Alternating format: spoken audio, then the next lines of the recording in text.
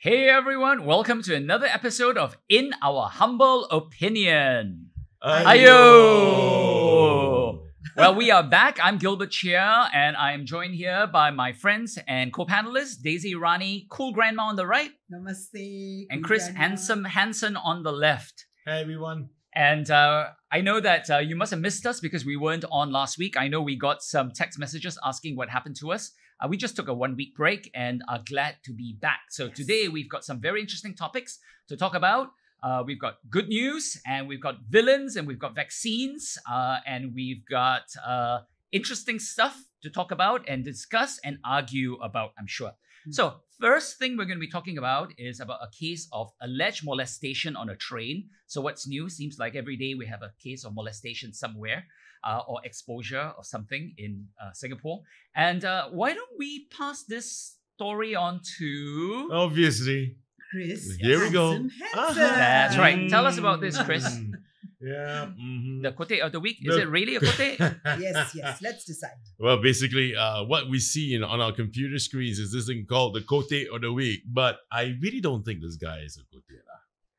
There has been this this this has been going around. Uh, I posted also on, on uh, in Mothership uh, about a bystander who called out a man who was moving uncomfortably too close to a woman on an MRT. Now, this guy, the bystander, his name is Dwayne.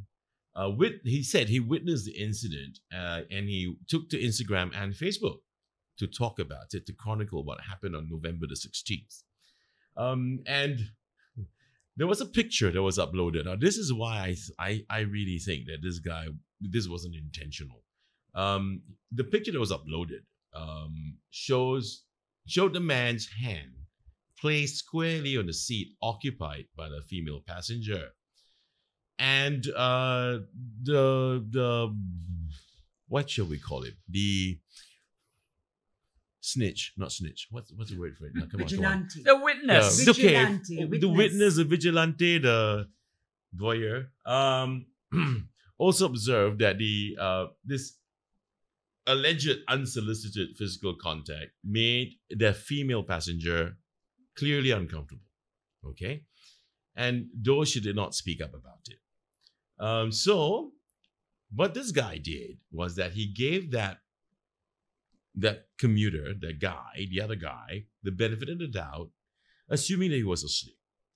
A couple of minutes later he observed that the man did wake up moved even closer to the female passenger uh, in res- and and in response this donald guy stood up tapped the man on his leg and asked him to move away from her now according to him to donald the man moved away and stopped physical contact with her though he didn't even seem apologetic and went back to sleep so what Donald is now urging people to do is to step up if they witness such things happening to strangers. Mm.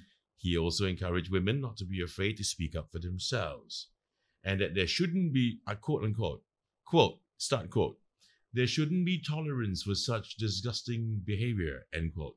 Now, you all go first. Go where?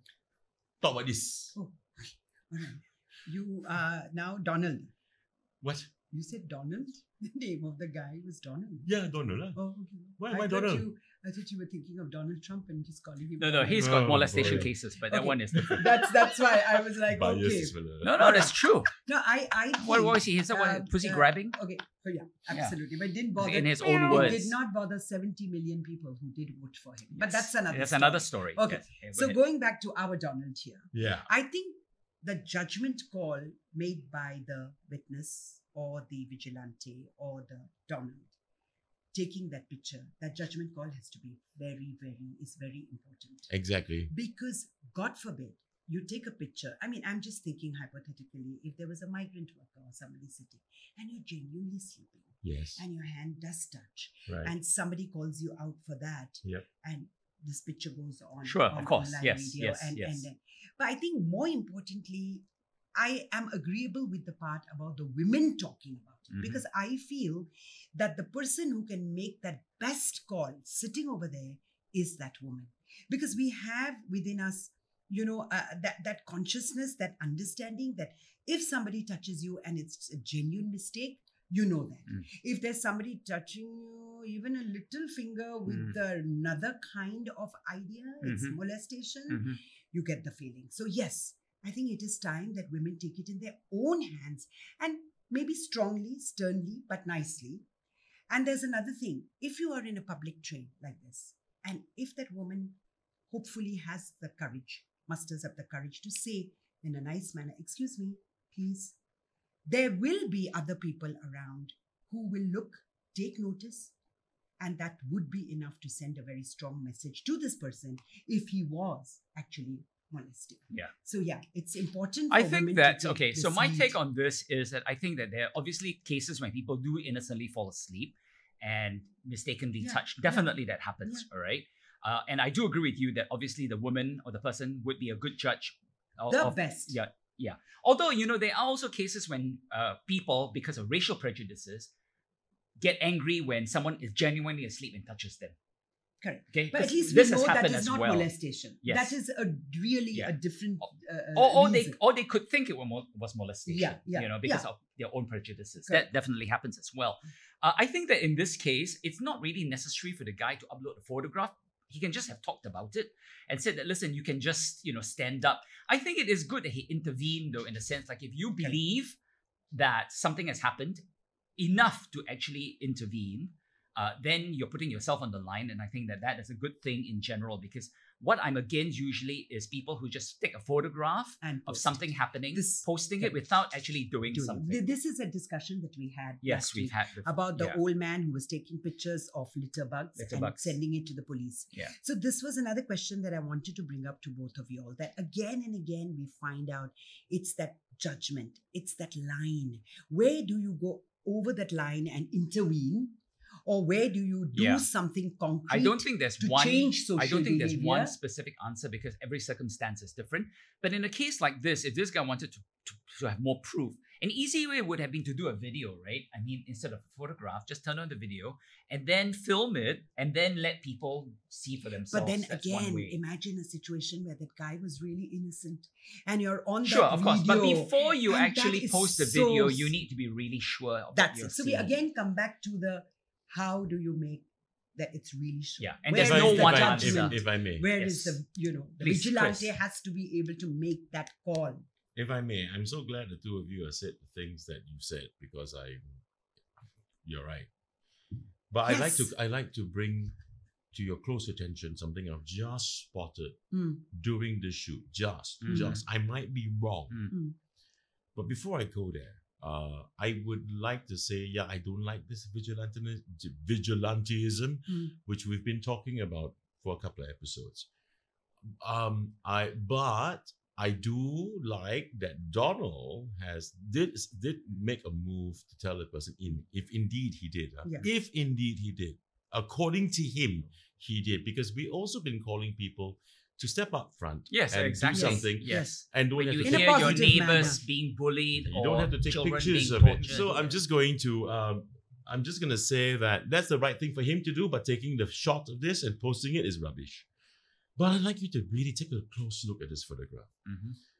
This man, it seems to me, though, in my opinion, that he might be unwell in terms of being sick at that moment because his trouser pants on the left hand side, his left hand side, is wet. Mm. Oh dear. he it, it is not that kind of it is not the leering wetness I'm referring to. It is Okay. urination wetness. All right. I think this man, in judging by the position he's seated, he just cannot control or can is not feeling well enough. Mm. And he's leaning to one side. If he had wanted to be, look at the hand, the position of the hand. If he had wanted to do more, it wouldn't, it would have been even closer. Yeah. So again, Okay. we, Yeah, it's hard to tell with one still It's really photograph. hard to tell. That's no, so the, the, thing, fact you of know, the matter is that we yeah. do agree that whether you call yourself a witness, a vigilante, what but that if- decision you make of taking that Yes, and posting it. yes, but Daisy Gilbert, very, very Daisy crucial. and Gilbert, I just want to just say this. Imagine if it were really true that that man was, Was not- sick Mm. and wasn't well, and then this guy takes a photograph of him, and if he saw this, Yeah. for I don't think the guy's face was shown. I mean, any- anyway, the guy's wearing a mask, you know. Mhm. And by the way, his name is Dwayne, not Donald. oh, I'm so sorry to all Donalds in the world, with the exception of the idiot in the White House. No, but that- I apologize to all Donalds. When I said Donald, I really thought you were talking about the And Donald. Hey, And you I'm allowed me to drown. He's trying to. At least he, he lifted me up. No, You no, but I drown. know I didn't. no, no, I just drown. only looked closely. I thought you were know. being so clever. I, eh, next you were time, uh, calling eh, Dwayne yeah, no, no, you can borrow this, huh? It's my reading glasses. He doesn't Yeah, want okay, to put on the that. Okay. All right, so He's enough about that. Wayne Let's let's let's move on. Okay. Okay. So now we're going to go into some good news, uh, but which I would like to actually uh, uh, clarify again. So uh, it's been big publicity for several years now that the Economist Intelligence Unit, which is a research uh, company uh, that's part of the Economist uh, uh, media group, has been doing a survey or a study of the most expensive cities in the world. And I remember several years ago when Singapore made the top city in the world for the first time, uh, or the first time they were doing the survey, it made huge news all over. Yes. And uh, you know, of course, people, a lot of Singaporeans were saying, "Yeah, you know, I knew it. You know, the government sucks. You know, and this is what Singapore so is, and all of that. So expensive, So expensive. all of that." So, uh, you know, this year we're not most expensive anymore. We've actually dropped a couple of spots, and there's a reason for that. Mm. But you know, I think it's very important. Before we actually go into this, I would like to clarify. Okay, then I'll turn it over to you guys. Can can tahan a bit, huh? Okay. I just want to clarify because there were a lot of things that were misunderstood, misconstrued about this survey. First of all, if you actually go to the site and read it, the Economist Intelligence Unit said we did this survey for expats who are traveling to different countries and resettling in different countries Mm. so that there is a universal unit of measurement that you can judge which cities are more expensive. Mm. And in order to do this, we do several things. One is we measure everything in US dollars. So we convert whatever it may cost in Sing dollars or Thai baht or wherever into US dollars.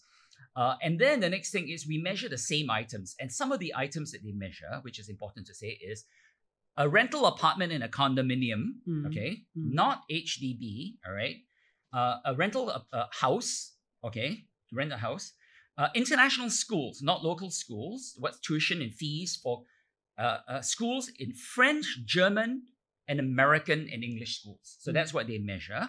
Mm. They measure the cost of a car, a family car and deluxe car, as well as car maintenance and road taxes.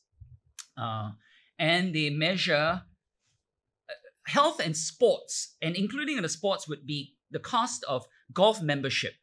Mm, All right. So when they measure these things, they found, not surprisingly, I have to say, Mm. that Singapore is way up there because you know these things are expensive. You've got uh, golf, you've got a car, you've got rental of a house and private condo, you've got international schools. So that is the situation. all these are the most Um, I- expensive in Singapore. you Gilbert. got that that that data from the actual EIU Yes. specific to this. Yes. This is funny because what I'm reading here, as reported in a, in Mothership, Uh-huh. um, that uh, it looked at factors like currency volatility, supply Yes. chain problems, the impact of taxes and subsidies. Okay, okay, the road tax thing, I get it. Yeah, yeah, yeah. Shifts all in cons- of yeah, of course, and but the all of shifts that in is consumer related to preferences. this. Yes, all of this hmm. is related to that because when you're doing currency, you got to realize. Let's say, for example, a car cost I don't know hundred thousand Sing dollars. They're going to convert that to US dollars. Mm. All right, so Mm. it's one hundred and seventy-five thousand or hundred and sixty thousand, hundred forty thousand. so that's what they meant by volatility. Yes. No, no. Because the there's volatility, volatility- obviously. Yeah, but Yeah, the you know? volatility also has a lot of different repercussions. Yes. Because you know, when you look at the when you peg your currency, then you're looking at a huge area of export, import. I mean, because everything is pegged to the currency. So I do agree that the topics that you talked about are the most expensive in Singapore. Yes. So the, I think it's very important for this is very irrelevant in a way to the locals. So when you're a local in Singapore, this you should not be thinking that oh my god I'm living in the most expensive city in the world because honestly with the exception of these things I mean you know most people don't go to international schools most people don't have golf club Membership. you know membership or yeah. play golf Yeah. uh, they don't rent condominiums or houses Mm. Uh, and you know obviously we all know cars are expensive so But now we are ranked fourth Yeah. Right Mm. after Zurich, Paris, and what's the other country? Yeah, but Hong but all Hong of the measurements are still the same. all Uh, yeah, yeah, yeah, yeah, yeah. My, my, but my point is, it doesn't mean that we're ranked fourth today. We're no longer up there in the world ranking Mhm. as the mo- world's most expensive. Doesn't mean that prices have gone generally down. It's just that the, these other countries' prices have gone up. Yes see- and no. Let me clarify that actually, Okay. because Singapore is actually in a very interesting position right now. And I say interesting, not meaning good, uh, is that because of lower demand, because we've actually had a population shrinkage for the first time in a long while, Singapore's population shrunk. We're actually in a state economically now called deflation when prices are actually lower. Yay! Okay, so we're in deflation. Yay! So that's one of the reasons also why uh, we have dropped in the rankings. Correct. But Yeah. it's a But it's If- important to realize basically what they measure. If you were to do a measurement for locals of food from hawker centers, food from food courts, food from supermarkets, uh, HDB flat rentals, local school costs, lo- local healthcare costs, I think you'll get a very different. different. Okay, my here's picture. my I- question. Yeah. Okay, I'm sorry. Go Daisy. ahead, go ahead. No, no, no. Um, Uh, here's Which my way do I turn? no, no. I, I know Uh, because I mean we both want to give our Yeah, take okay, on what you're But saying. is Go this ahead. so? What do you think? Is this a good or a bad thing Correct. in your opinion? So I it? think it's a good thing or a bad thing, which is based on the perspective you look at. correct. Okay, you gave us a perspective. Okay, if you look at some of the important things that the expats might be using, because when you talk Yeah, about and you this- know, I'll just or you an talk about the locals. Yeah. May- But you see, today, when you manage businesses, especially in this post COVID era, it's also very key to know where your business is going to be located. So I'm talking about, in that perspective, what is happening is good. Because, see, the world out there, it's very highly competitive. I mean, and the lessons that we have learned from COVID, where businesses would like to go, is having, you know, where we have political stability, we have efficient supply chains, we are managing the currency vol- volatility, like you said, and we take advantage of working from home. So the foreign labor is down. And overall, we've become just more efficient. So I feel if we can keep Singapore cost efficient, Yes. we would really become very, Of very prosperous. Totally, of course. Well, Because there's one more thing, if I may. Because around the region, our system, our regulatory system, is really trusted and the legal Sure. systems are trusted. let so me, I totally agree with that. yeah, let me so just we- point out one thing now. So it's a good thing. Yeah, yeah. It's It- a good thing when prices businesses fall. are concerned. Okay, but I think businesses yeah. are concerned, but especially but even for individuals, even for Yeah, us, I mean, okay, of course. individuals, that let's say I want to play golf and golf fees go down. It's still a good thing for locals. Okay, so just give you an example. One of the things they measure is what's the cost of a Burberry raincoat. Okay, Oh gosh. because that's a universal standard. So you, it's so all a luxury items. it's luxury you're items. talking So it's very important for people to understand this. You know, don't just jump when you look at the headlines of a survey. Right? who, No. who who here owns a Burberry raincoat? I mean, I do, but that's because I lived overseas. Yeah, right? and I have to apologize to Mothership because it is stated here. Uh, the price prices include food, drink, clothing, household supplies, personal care items, home rents, transport, utility bills, all cool. yes. Then private schools, domestic Yes. help, and Correct. recreational costs. yes. Yes. No, but when Yeah. you talk about golf memberships or when you talk about cars, one must also understand that Singapore is now become a very, very wealthy nation. And practically all these memberships, whether it's Singapore Island Country Club or the Tanah Merah Club, a lot of them are owned by the locals. Yeah, yeah, mean, yeah. these of cars and all that. So Yeah, yeah. just the fact that the foreign workers might, there might be a shrinkage there is just part of the whole picture. Yes, yes. And I think it's also important to realize that, you know, we import everything. Yes, Singapore. yes, I agree. So we are at the mercy of what other people want to charge Yes. us. Yeah, we even import our water, right? So On that note, yes. because we are we are we practically import everything, you're very right to say that. I think the it's not about reports like this about whether we're the most expensive or Mm. we are no longer the most expensive, they the Mm. most expensive uh, country in the world. I think it begins with you know it starts with landlords. Mm. Uh, because retail, you know, the retailers out there, the guys who even set up the F and B's, you know, the guys who set up even the grocery shops, you know, supermarkets, blah blah blah. They have to, to pay landlord Yes, rents. exactly. Yes. So so it begin it starts with them. Definitely. So let me actually clarify Starts that with on that Robinson's point. also. closing down. Yeah, well, that's part of the problem. But I'm let me- very let sad me- about that, yeah. by the way. But but just I just want to point out, I think that one of the big criticisms of Singapore, which I think is actually justified, uh, you know, obviously we're a very tiny island, and the cost of land is expensive. But one of the problems had been that very early on, when they were pegging commercial real estate prices, they pegged it to land in Raffles Place and they used that as a benchmark to start out all of the land prices. So I think that's one of the big issues there. You I- see, I- is that someone's computer is on. No, not I'm mine. getting messages. Not Um, me. I think it's mine. I don't know why. Sorry, guys. Gilbert. no, my computer How is can silent. you do this kind of thing? My computer is silent. Let me actually. So anyway, I think that, that that's a good discussion for us to have about Yeah. Singapore being most expensive city. And also, again, I think it points out the importance of looking beyond the headlines. Don't just look at Yes, most yes, expensive yes. city and then jump on it Mm. either one way or the other. But but I do feel that once in a while, when you read a headline like this, and you're not really going to stop and interpret it as in as detail as we did, I think it does increase confidence. So I know there have been cases in the past where we used to read that, let's say, Microsoft wants to come to Singapore and wants to open a huge office, and then the next thing you read is, but they've opted to go to Malaysia instead Mhm. because we know that real estate and resources are two of the biggest expenses that Yeah, Singapore has. So this does encourage confidence. And we know that if we are too expensive, the companies will go elsewhere. yes, so, yes. hey, But I think the problem is that reading this that is a one-year aberration. Yeah, yeah. You know, Thanks I also want people to not jump to it next year if they say, "Hey, Singapore is back to the most expensive city in the world." To actually look, how are we most expensive? What are we measuring? You know, okay. yeah, but you see, trust, efficiency, quality, it doesn't come low for a low cost.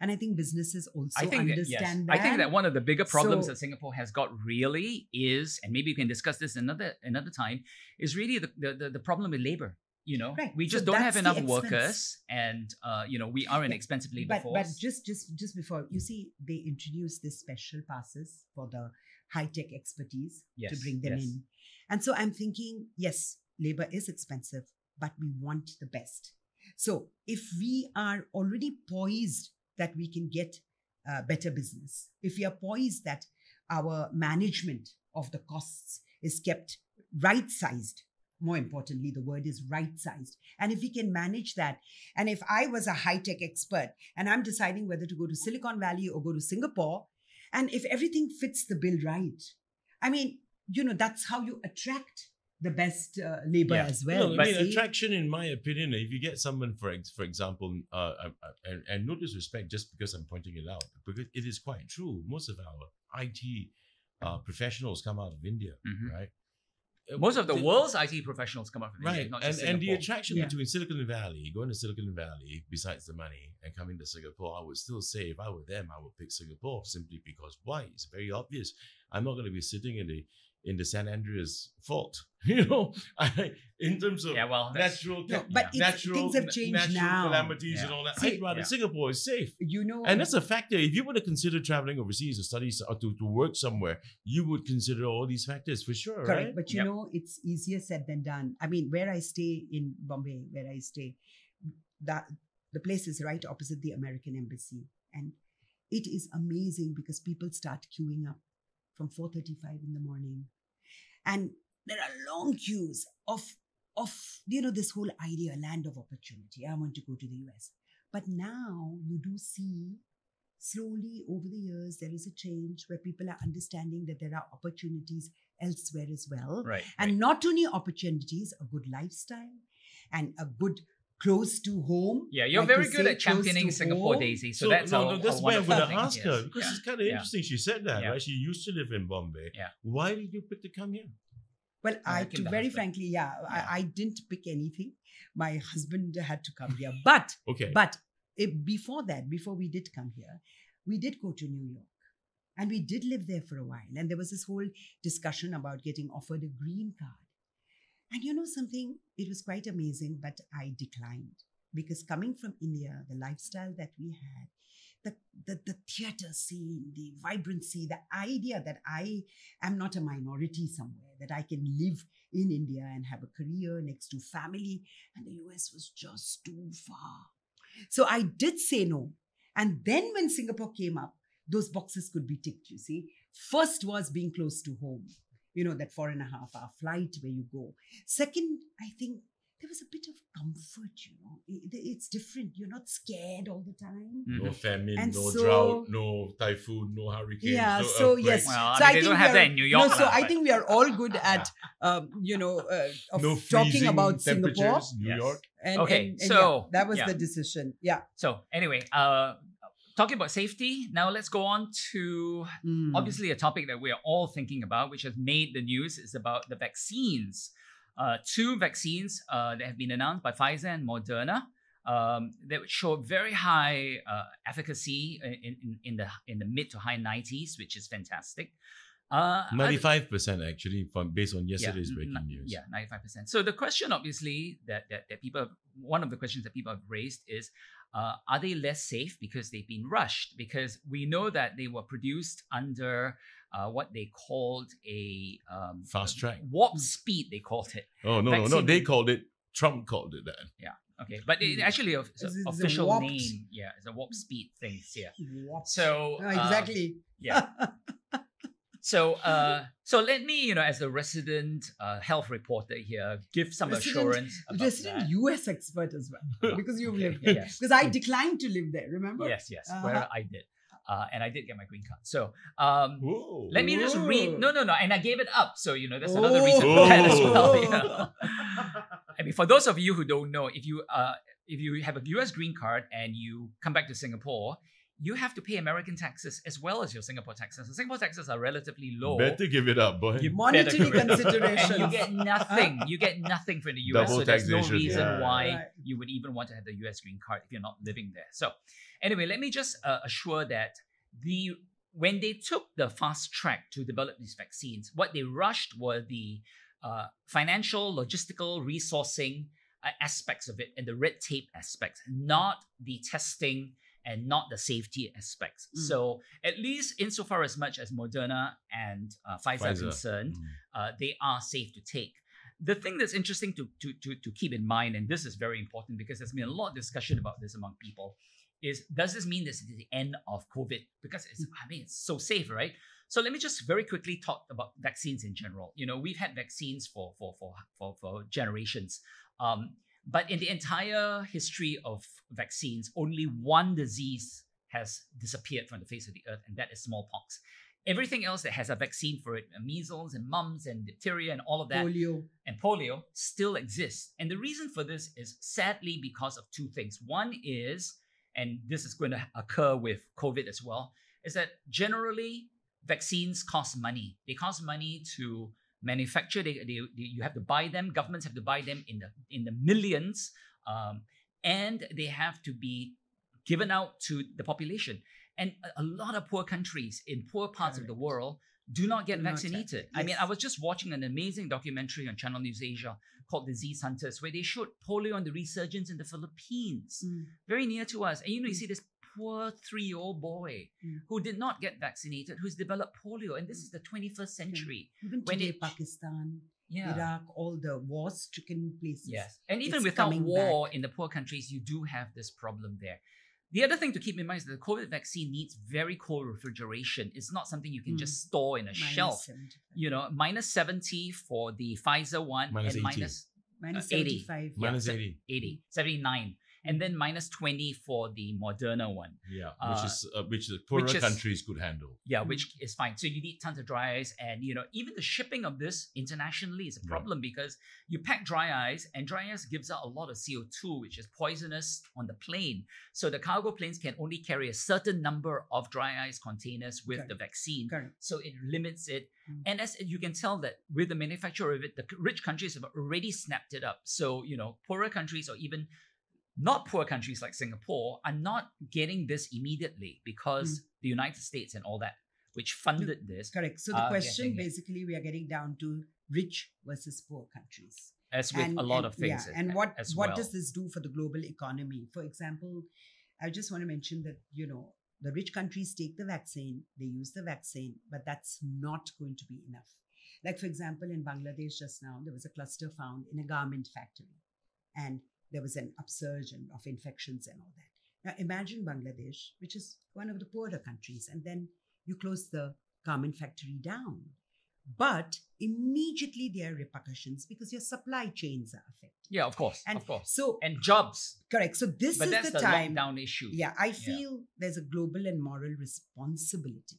And like we see, this is the time where the biggest charity that rich countries can really help out with is to help the poorer countries to make sure that the vaccines reach, they are distributed, and that the poor people there who need it as much can benefit. Yes, the, the problem is one also a practical one. Even with the best of intentions, you look at the Bill and Melinda Gates Foundation, for example, yes. they have been given been giving away tens of billions of Yeah. dollars in vaccination. You come to another problem, which is not the science of vaccines, but human behavior. A lot of people, even when they have access to vaccines, do not want Take to those get vac- yes. vaccinated. You see this happening even in wealthy countries, not so wealthy countries, and in poor countries. So that's another big issue there. Mm, mm, Can I just mm. ask you something, uh, Gilbert, since you're the resident health guy? Uh, um, in as far as these vaccines are concerned, a 95% efficacy, can I use the term efficacy? 95% for both Moderna and Pfizer. You said, correct me if I'm wrong, I, I thought I heard you say that, that it's perfectly fine, that uh, you can get inoculated with it. It's, it's going to be a vaccine that works. Am I right? Okay. Uh, based on the tests that they have conducted. yes, and yes, yes. Based on all that, yes. But not yet in terms of actual public use. And I'll give you an, I- I- I'll explain why. Let's say they tested it and they said, okay, after three months, there's no side effects. But there are vaccines and there are medications that could show side effects after a longer period. nine months only. Yeah. Sure, sure. So that's not known. okay, yet. But uh, generally, yes. What I'm pointing is that the rushing of this should not have affected the safety. okay, uh, great. But uh, the reason why I'm, I'm, I'm I was a- I've been I've asked this question is because you remember many episodes ago, and when we when the three of us first actually met was via Zoom. Yeah. Right, and we started filming this the show via Zoom. Yeah. And during one of those shoots, if memory serves me correctly, I did say I have faith in the human race Correct. that we will have a Um, Yes, vaccine and yes, we'll have yes. a vaccine soon. Yes. And I remember Gilbert saying, uh, well, you know, I'm very glad that you are being positive. You know, hopefully it'll happen. But then again, you know, I'm not going to hold my breath. In Yes, fact, I remember yes. we took a No. bet on that. So exactly. you can make some and, money. and hey, hey, hey. Okay, simple faith, man, simple faith. Now, Yeah, yeah. however, that being said, um, the, the- now you see we fast forwarded it. Uh, the, I mean, at least in the US. in the US, Yeah. and it's it's uh, 95%, and I'm pretty sure 100% will arrive very soon. Uh, we the human race always finds a way. However, I do also agree that there are quite. I mean, smallpox is eradicated, but not entirely around the world. Sure, uh, I know. I mean, no, I mean, smallpox around yeah. the world, but, the- many other diseases, like every other one. chickenpox, uh, measles around. are still Yeah. around. That's because of the imbalance of uh, of, of of poverty and Mhm, wealth mhm. across the globe. And also education, sure, sure. people's desire to Now let's it. talk about Singapore. Yeah. In Singapore, it is a a, a, a quite a regime. Mm. Yeah, babies being born, we send them for inoculation. Yeah, uh, there, ha- there are uh, some some small tiny minority of anti-vaxxers, I would suppose, in this country. But by and large, you know, including my kid, including us, even whatever we could be, have been inoculated with at that point in time, we do get inoculated. Yes. Now, this vaccine, I mean, in Singapore's context, I'm pretty sure the government's going to say everyone's going to get inoculated. Mhm. We'll start in stages. We Mhm. will go with the frontline Mhm. workers first and the seniors. Yep, and all. yep, That's yep. the right thing to do. Yep, yep. Eventually, all of us gets inoculated. Yep. Does it mean that it's over? Uh, no, because we're an open country. Yeah, because people will come it. in. Now, Absolutely. Uh, Okay, this is another point which is important to talk No, about. even if we are vaccinated and people still come in, we're already inoculated. Yeah, okay. So that Good. leads to the important point which we need to understand about is that how long does the immunity last?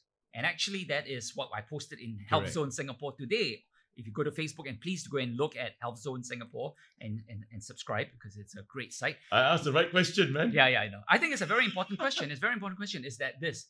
You know, for example, there are Mm. certain vaccines that you take, measles, for example, which give you lifetime immunity. yes. You inoculate as a child or you catch it as a child. So th- le- let's understand that the way you catch, you get immunity is either you catch the disease, your body then overcomes it, and the body learns To adapt. to adapt uh, Right. how to produces overcome its own Right. Antibodies. Our own immunity. Yeah, okay. Yes, So- okay. So, that's And- one way. The other way is through a vaccine, and the vaccine then gives the Part body the, the information Yeah. to create antibodies. All right. Yes. So those are two ways. But with other diseases, the flu, for example, it does not last. Immunity lasts one season. Yes. And, then why is have that? It's take because the virus mutates. And so there are different periods of immunity. The good news about the COVID vaccine so far, or COVID, not vaccine itself, but COVID itself, is that even if you catch it and your body develops immunity, preliminary, and I say preliminary because we've only been one year into this uh, pandemic, uh, is that it affords very long lasting protection, possibly for decades This, after that. but this is what we are talking about now. We do not really have the timeline or the facts to verify that. No, no, but but they can tell by how much degradation there is within a certain period, and you can extrapolate that. So there are scientific ways to be able to see this. But we The don't good- know if it's not going to mutate. We, we, I mean, there are so many unknowns. Okay, now she's being pe- uh, very uh, pessimistic. No, no, it's not no, no, no. pessimistic. Let me explain to you. Being practical, Yes. See, uh, you said what you said. We all agree this is a very hopeful moment. I mean, everything showed it. The stocks went up. There was so much happiness. We know there is a way out. Man's resilience has found a way out. Having said that, practically also, we know somewhere at the back of our minds that this is not the end. It is the beginning of hope, but we are not yet 100% certain that this is going to cure all the woes. And one of that is also the rich versus the poor situation, right? Because no, no, but I haven't finished what I was saying though, which doesn't disagree with you. Yeah. Oh, Okay. okay. So my point basically is that just because you get a vaccine, to answer his question, just because you get a vaccine does not mean the pandemic is over. oh, absolutely. and yeah. and you know the, the the the World Health Organization had said this and got got got castigated for it because I guess people wanted good news, which is understandable. But this is the reality: is that diseases don't just disappear, Yes. viruses don't just disappear. yes. In the case of COVID, it seems the good news is that the virus does not mutate very fast. It's actually very very slow mutation, Mm. which is good, and that it has a very unique because it's the coronavirus. It's got these spike proteins uh, on on top, which is what this vaccine targets. Yes. So, long story short, Yeah. is that it's good news on several fronts, but it does not mean the end of it. And please, you still need to wash your hands and wear masks because, you know, honestly, masks are so effective in the prevention of the spread of this um, that it really is inconceivable. And So do you foresee? in the US, they are do fighting you this. foresee? Do you foresee you guys, including Daisy, is- it also, you know, she agreed to it, right? I saw that. Uh, Daisy also agreed that, of course not. Of course, it's not over. Yeah, Okay. yeah, yeah. So do you agree then that we'll all be wearing masks at least for the next ten years? Uh, no, I wouldn't say 10 years. Ah, okay. So Yeah, what because is this then? When China, when can we China. actually no, say? China is a very good example. No one's wearing masks in China anymore. when can we say this pandemic's over? Uh, let me put it this way. what now, would okay? the, the measurement be? The measurement will be when it becomes such a low risk thing that people are no longer hospitalized over. Can. I can I just Okay. say something? You know, I think So the virus not- will never disappear. That's my feeling. Correct. The So- virus will be with us for the next thousand years, Yes. but it will be like a flu virus that does not kill No, people it's- because we have the vaccines and the immunity. It's, Yeah. So it's managed. So it's like It's in managed. Europe where you had the plague, for instance. Hmm. Or even if you take a really random kind of comparison, which is not with a disease.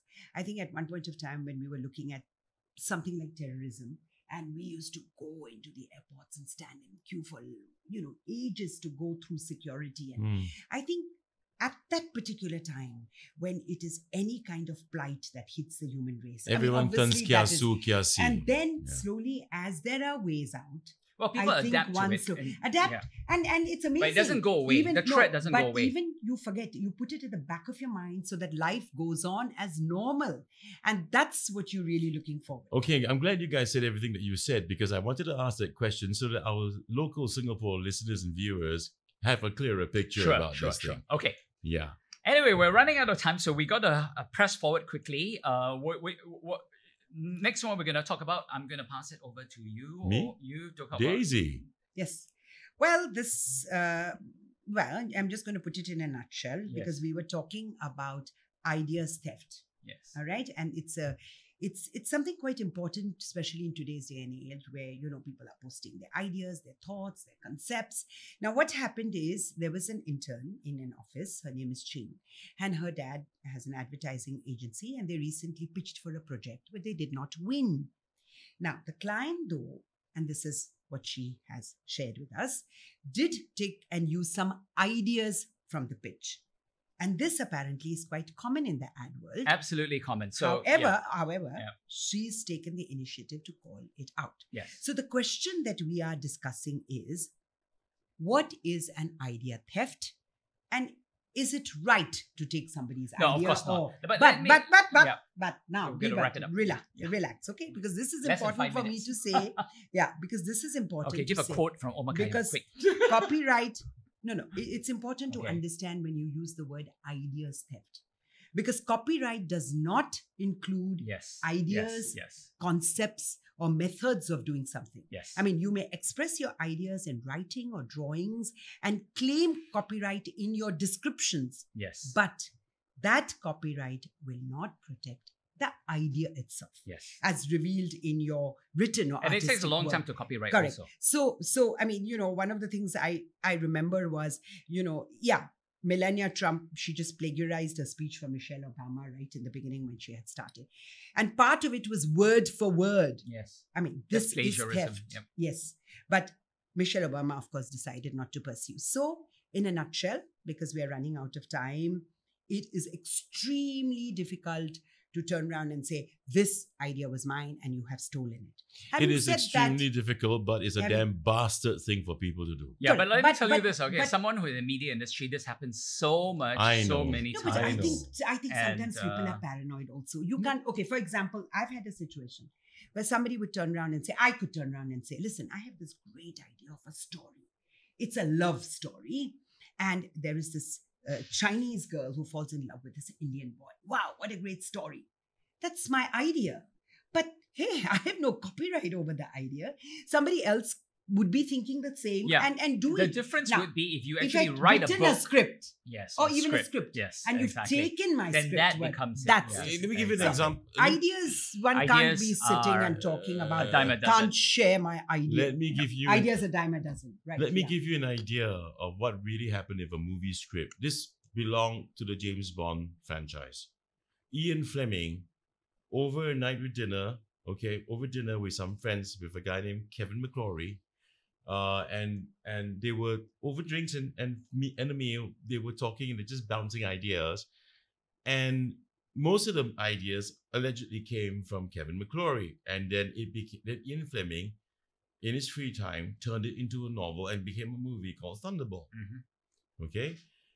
And this court case went on over the theft of ideas in England, England, I think, and then all the US. And then they fought it for decades Mm. Until it reached a stage where finally in the 90s, no, in the 80s, late 80s, Kevin McClory won. Mm. And then the movie Never Say Never Again came out. Mm. It was just another take of Thunderball. Mm. Now, just to bring some interesting, you know, bites to what Daisy had mentioned about script, but paranoia? No.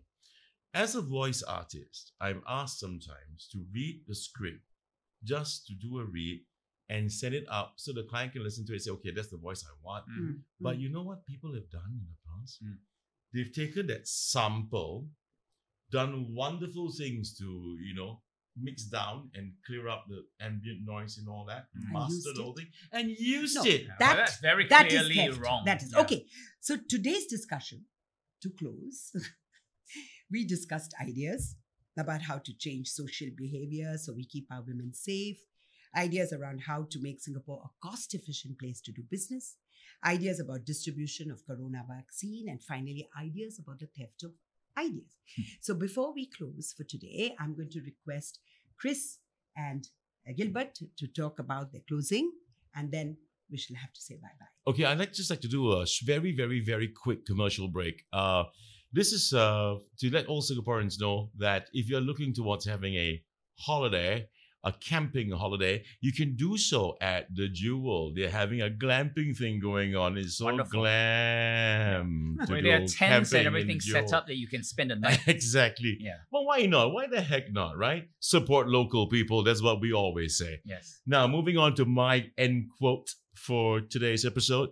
I really don't like this theft of ideas. I think some companies just think they're so damn freaking big that they can bully the small guppies, you know, swimming around in a bloody freaking pool of sharks. So I, I, I just want to say this is taken from a song from Johnny Cash. And that song is One Piece at a Time. It's about stealing parts from a, from a General Motors company every single day as a worker. It's akin to Hmm. that. So I'd like to pick out this this four lines. I get it. I get it.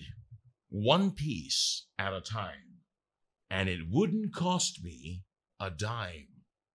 You'll know it's me when I come through your town, ya swines, when you start advertising the shit that we give you. One piece at a time.